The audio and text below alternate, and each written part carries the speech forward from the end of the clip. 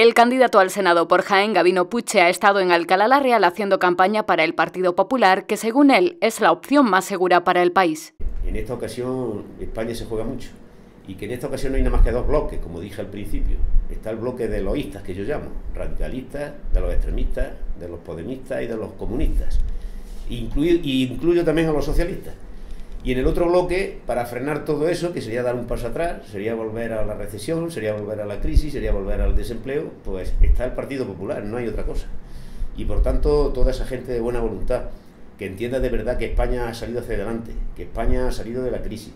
que España crece, que España crea empleo, que España mantiene las políticas de, bienestar, que España mejora la calidad en la educación, que está mejorando la sanidad, pues todas esas personas, indistintamente de que en alguna otra ocasión hayan votado Partido Socialista o hayan votado otra fuerza política, ciudadanos,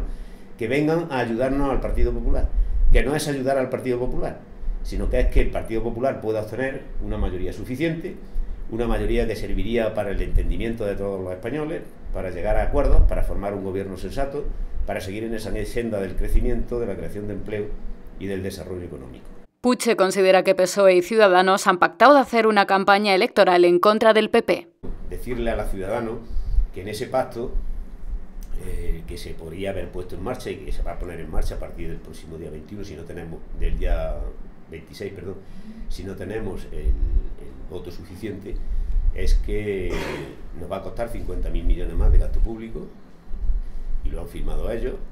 de que se suben todos los impuestos por parte de ciudadanos del Partido Socialista, sucesiones, patrimonio, sociedades, incluso el IVA, y el IVA de productos de primera necesidad, como es el agua, como es el pan, o como son los productos básicos, la leche, que yo creo que eso es un, buen mazazo para la clase media y sobre todo las clases menos, menos favorecidas. El candidato popular lamenta que el PSOE saque fantasmas a pasear en periodo de elecciones, como ya ocurriera con las pensiones, el pero el paro en anteriores comicios, y ahora sucede con la PAC. Y en esta campaña nos han sacado otro fantasma a pasear, que es la política agraria comunitaria. Que el Partido Socialista quiera hacerle las cuentas a los agricultores de Jaén, eso es de aurora boreal también. Los agricultores han cobrado, por tanto, esta campaña que han puesto en marcha de denuncia de pérdida de dinero por la provincia de Jaén es una desvergüenza política. A nivel local se están visitando empresas, centros sociales en las aldeas o haciendo paseos electorales, aunque con menor intensidad que otras elecciones. No hemos solicitado ningún espacio público,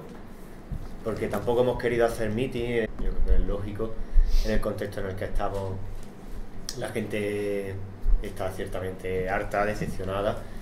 y nadie quiere, como digo coloquialmente, que le calente la cabeza con mensajes que aún así hay que darlo. Tu café, tu copa, tu mojito, tu música, tu ambiente en Karaoke Happy Hour. Calle Guardia Ávila García.